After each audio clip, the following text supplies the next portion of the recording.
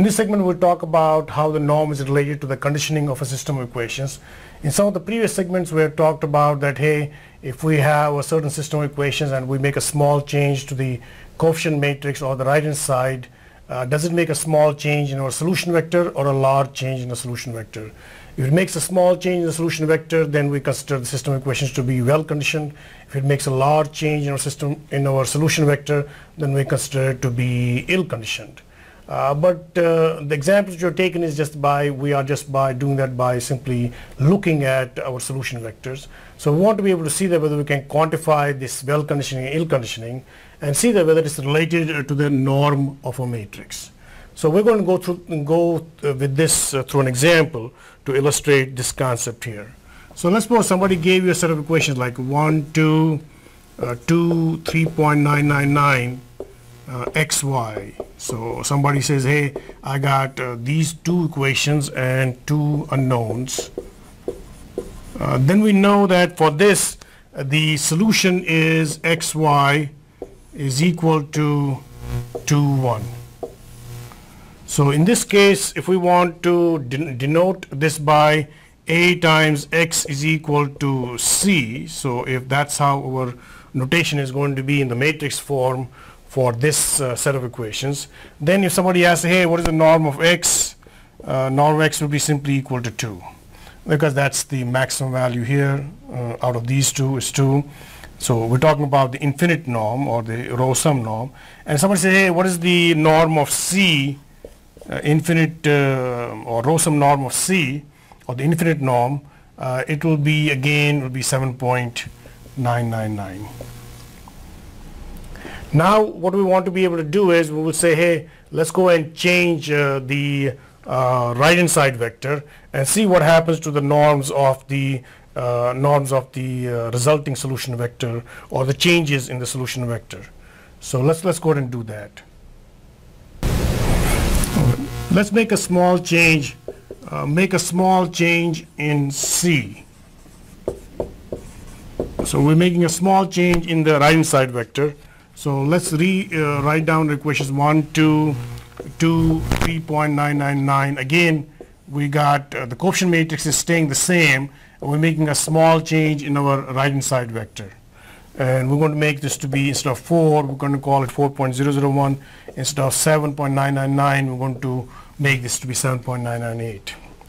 In this case, when we solve the equations, we get xy is equal to minus 3.999 4.00 that's what we get. So now if we denote the uh, set of equations as ax prime equal to c prime because what we have done is that we have not changed the coefficient matrix we have kept it the same. We have changed the right hand side which is turning out to be this one here and then so we're going to get different solution of course which we're calling it x prime so if we look at the difference, so if we call delta C as the difference between the right hand sides, we call it uh, C, uh, C prime minus C, uh, that will turn out to be what? Uh, that will turn out to be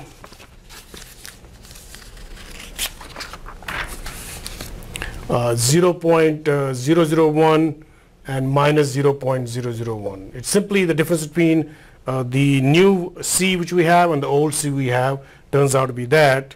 And then if we look at here what is the change in the uh, solution vector, it will be the new solution vector minus the old solution vector. And that's, that one here turns out to be equal to minus 5.999 and 3.000. So these are the differences which we are getting. So we're already seeing that hey, uh, I made a small change in my C vector, it is resulting in a large change in my solution vector. Uh, is the difference between the new solution and the old solution or the uh, next solution and the previous solution here with the different C's which I'm using. Uh, then let's go and see, hey, what do we get for the norms? Norm of delta C infinity is uh, 0.001. So that's the infinite norm of that matrix but the uh, infinite norm of the X matrix of the delta X matrix which is this one right here is 5.999. So if we write down all these norms delta X norm turned out to be 5.999 our norm of X turned out to be 2 then norm of delta c, which is the change in the right hand side, was 0.001. And the norm of c, which is your original right hand side vector, turns out to be 7.999. So right here we're able to see that hey this represents the uh, uh, the change in the solution vector and this represents the change in the uh, in the right hand side vector. So uh, in the norm of the right hand side vector. So let's go and see what we get for delta x infinity divided by delta x uh, infinity norm we get uh, 5.999 divided by 2 which is 2.9995 and what is delta c infinity uh, infinite norm of delta c divided by norm of c uh, that turns out to be equal to uh, 0.001 divided by uh, 7.999 and that is uh, 1.250 times 10 to the power minus 4. So now we are able to see that, hey, for this particular set of equations which we had, if we made a small change in our right-hand side vector, we, it resulted in a large change in our solution vector from a relative point of view. So we cannot just look at this number or this number, be able to say that, hey, what are the uh, relative changes or whether the changes are large or small, but now we are finding the relative change in the solution vector is this much.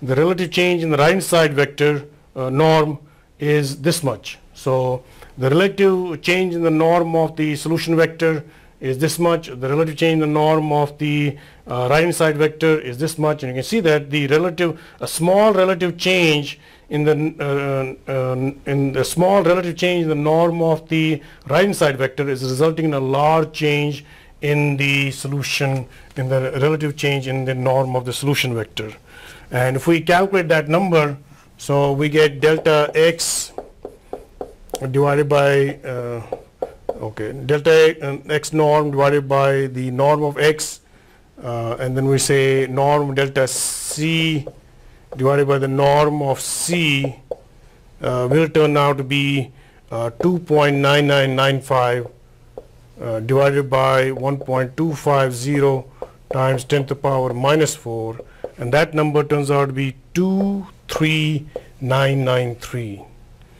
so you can very well see that hey the condition of this set of equations which we had which we started with uh, may not be uh, good. It will be ill conditioned because this uh, this relative change in the solution vector divided by the relative change in the right hand side vector is turning out to be a huge number like this one. How much it uh, how much it what it means that hey how how much ill conditioned it is we'll look at that in a later segment. But uh, just keep in mind this number as you see the next uh, segment uh, next part of this segment. And that's the end of uh, this segment